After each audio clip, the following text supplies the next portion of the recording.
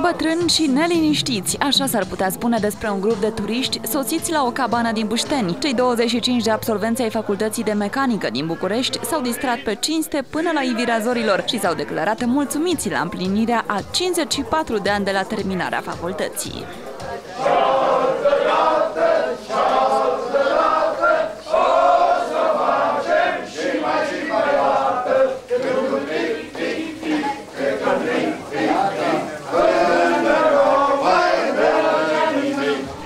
Sosiți din toată țara și din străinătate, special pentru acest eveniment, seniorii absolvenți spun că nu ar rata pentru nimic în lume tradiționala petrecere de absolvire, chiar dacă de atunci au trecut 54 de ani, sau poate chiar de aceea.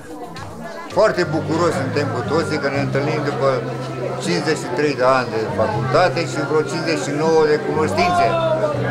Deci ne simțim foarte bine și dorim să ne întâlnim în fiecare an și ne vom întâlni în fiecare an. Noi, să știți, suntem un, o an de absolvenți foarte uniți.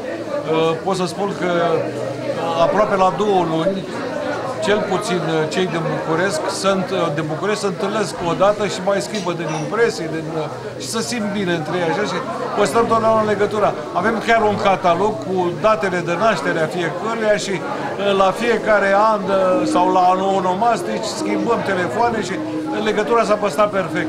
Pe melodii mai vechi sau recente, seniorii petrecăreți au arătat că știu să se distreze ca în anii de facultate.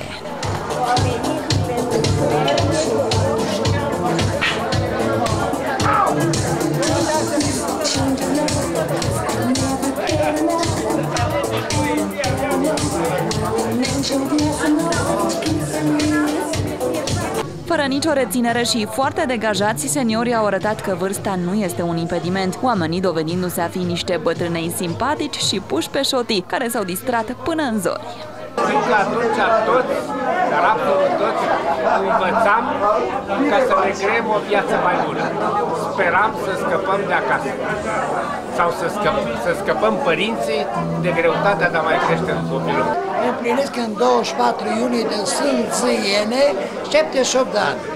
Și astăzi împlinim 54 de ani de la absolvire. E o sărbătoare comună pentru mine e ceva deosebit. Da, după 80 de ani. Așa este. După, depinde cum te simți. Dacă până acum absolvenții se întâlneau din 5 în 5 ani, acum, de când numărul acestora s-a mai redus din cauza vârstei înaintate, s-a hotărât ca distracția să se desfășoare anual, invariabil, la o cabană din munți.